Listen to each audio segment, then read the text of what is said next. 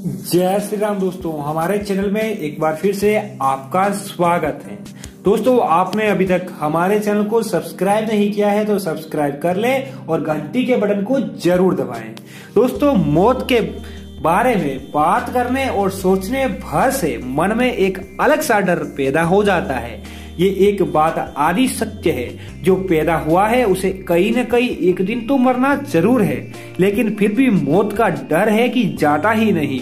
शिव पुराण के अनुसार एक बार माता पार्वती ने भगवान शिव से पूछा कि अगर मौत निश्चित है तो क्या इसके कुछ ऐसे संकेत भी होते हैं जिससे पता चल सके कि मौत नज़दीक है और मौत से पहले आखिर मनुष्य किस परिस्थितियों से होकर गुजरता है और उनमें क्या ऐसे बदलाव आते हैं? जिससे व्यक्ति को मौत का अंदेशा हो सकता है।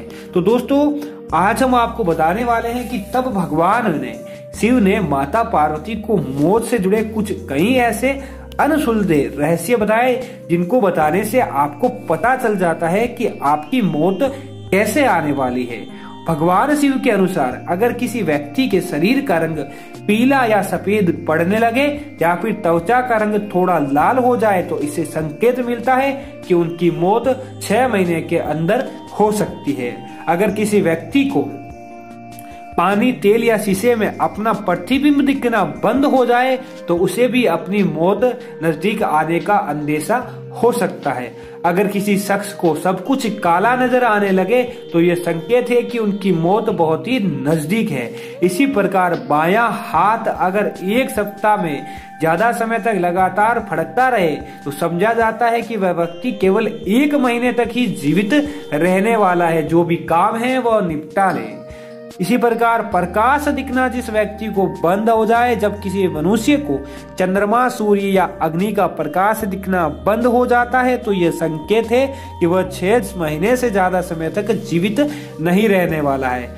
अगर शरीर पत्थर की तरह हो जाए, अगर किसी व्यक्ति का मुँह, जीभ, कान और आँख पत्थर की तरह हो जाए, उनमें बिल्कुल भी गति न हो बिल्कुल भी हलचल न हो तो उनकी भी मृत्यु नज़दीक आने के दिन आ गए हैं। इस बात को समझ लेना चाहिए। दोस्तों, जिस व्यक्ति की परछाई दिखना बंद हो जाती है और जो लोग परछाई देख भी पाते हैं तो उन्हें परछाई बिना सिर की दिखाई देती है। तो उन व्यक्तियों को भी मृत्यु निश्चित है और जल्द ही आने वाली है। शिव पुराण के अनुसार सूजी हुई जीभ अगर किसी व्यक्ति की जीभ अचानक से सूज जाए या फिर दांत के पास निकलने लगे तो यह संकेत है कि उनकी ज़िंदगी में छह महीने से ज़्यादा नहीं है।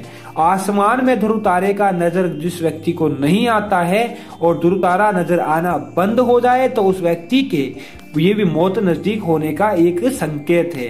अगर किसी व्यक्ति को सूरज, चाँद और आसमान लाल नज़र आने लगे तो यह भी निश्चित है कि उस व्यक्ति की मृत्यु नज़दीक आ चुकी है। यह एक अनोखा संकेत है। भगवान शिव के बताए गए रहस्यों के अलावा इस ग्रंथ में मृत्यु के बारे में काफ़ी कुछ बताया गया है। मनुष्य हो या शैतान, हर किसी को भगवान को प्रसन्न करके मौत पर विजय हासिल करने की कोशिश की, लेकिन मृत्यु एक ऐसा एक एकमात्र सत्य है जो होकर रहता है। भले ही विज्ञान और तकनीक ने चाहे कितनी ही तरक्की क्यों ना कर ली हो, लेकिन अभी तक कोई भी व्यक्ति मौत पर विजय हासिल नहीं कर पाया है। आज तक कोई भी ज़िंदगी और मौत को हराने में कामयाब नहीं रहा है। मौत की तैयारी निश्चित है कि मौत तो आएगी और परम सत्य है तो सवाल उठता है कि मौत की तैयारी कैसे करनी चाहिए? हिंदू धर्म के ग्रंथों के मुताबिक जब किसी भी व्यक्ति को मौत का अंदेशा हो जाए तो सब कुछ छोड़कर भगवान की भक्ति में लग जाना चाहिए। उन्हें भगवत गीता का पाठ करना चाहिए और भगवान की शरण में चले आना चाहिए। ग्रंथ यह भी कहते हैं कि किसी भी शख्स की आत्मा या तो स्वर्ग में जाती है या नरक में। व्यक्ति के किए गए कर्मों के आधार पर आधारित होता है। तो दोस्तों, उम्मीद है ये जानकारी आपको अच्छी लगी होगी। आप हमारे चैनल को सब्सक्राइब कीजिए और हमारे वीडियो को लाइक तथा शेयर कीजिए। जय श्री राम दोस्तों, धन्यवाद दोस्तों।